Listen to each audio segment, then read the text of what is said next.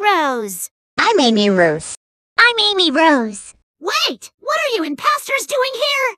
No, you're the imposter. You guys are literally just comparing yourselves to each other. You are both the imposters. In fact, my voice sounds better in both of you guys. Really? Yes.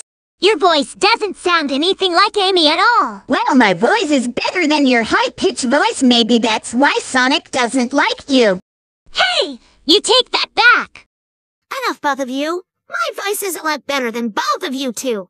Both of your voices is not even on Sonic Frontiers. Your voice came from Sonic 06. That game sucks as much as your annoying voice. What did you say? Your voice has only been played on Sonic Adventure 1 2 Shuffle and Heroes. Range Room on Sonic games are dead. You're I love you dearly, but that's the truth. That's it.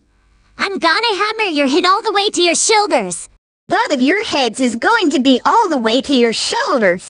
It's about time somebody knocks some sense into both of you. Wait! I've forgotten if we touch each other, we'll never exist. Oh no! Uh-oh!